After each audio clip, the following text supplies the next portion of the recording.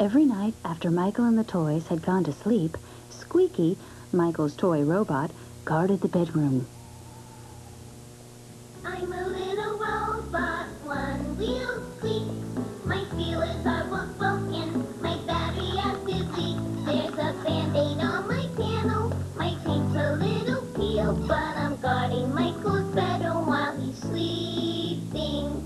On this night, however, she suddenly heard an unusual sound out in the hallway.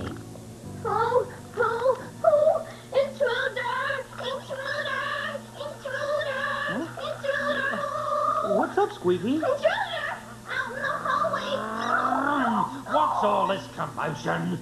I heard a noise out in the hallway, Diesel. Come on, everyone. Let's investigate the oh, noise. Oh. Right. Battle stations. Rum, rum, rum, rum, rum. Good work, Squeaky. You're the best guard this bedroom's ever had. Uh-huh. Mm, right. I've got Michael's shopping bag to use as a net. And I've got talcum powder. Good. And I've got the flashlight. Come on, this way. The toys crept to the door, ready to throw the net and the talcum powder on any intruder. Since they were toys, they didn't know they should never throw talcum powder on anyone, not even an intruder. Ready, everybody? Already. Go! Let's protect Michael!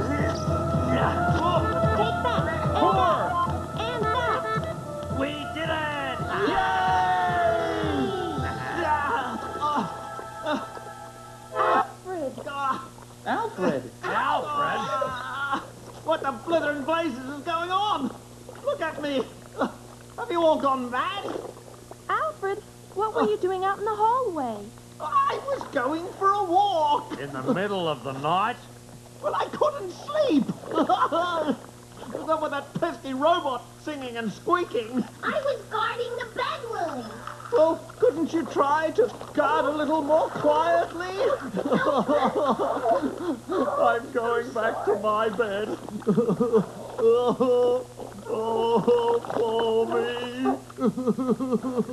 Bruised and bent and covered in talcum powder.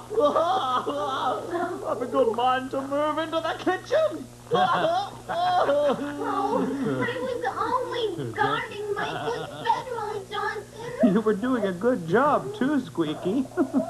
Yes, this bedroom is perfectly safe with you on guard, Squeaky. Well, thank you, McDuff. But the rest of us should try to get some more sleep. Well, good night, Squeaky. Good night, Johnson. Good night, all. I'm a little robot, one arm bent. I used to have a ray gun, I don't know where it went. My lights have all stopped flashing, my head is falling off, but I'm guarding Michael's bedroom while I, sleep. I wish that robot would stop squeaking and let me get some sleep. Why doesn't she ever oil her wheel? You awake, Johnson? Yes. We'll have to do something. If she squeaks any louder, she'll wake Michael. Hmm. All right. I'll have a talk with her. Oh, what a good idea. Coming, McDuff? Oh, I'm too tired. No, all right. So Johnson went to talk to Squeaky in the guarding box. Right.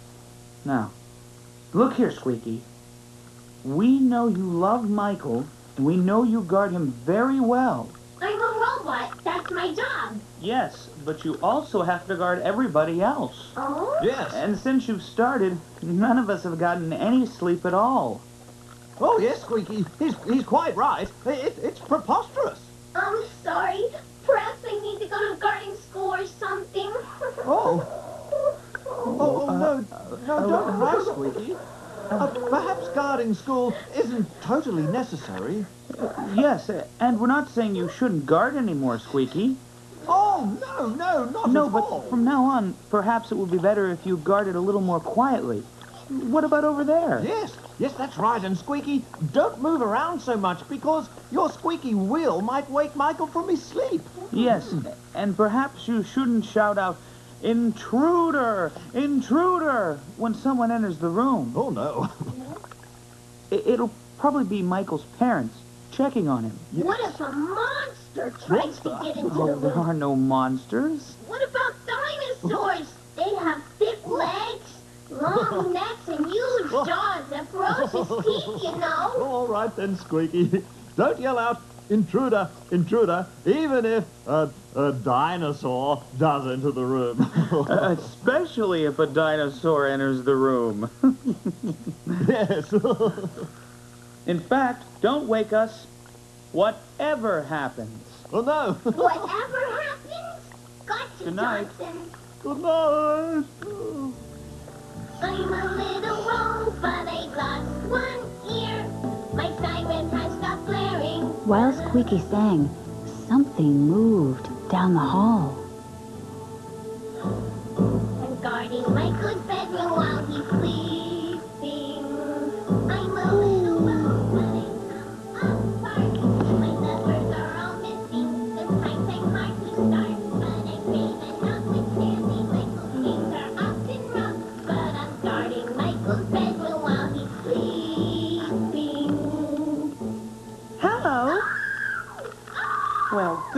Gracious me. That's one of the best songs I've ever heard.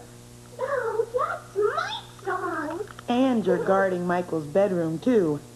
How brave. I'm Squeaky the robot. That's my job. Oh, how do you do? I'm Victoria. I live up the hallway in Melissa's bedroom. Melissa? That's Michael's sister.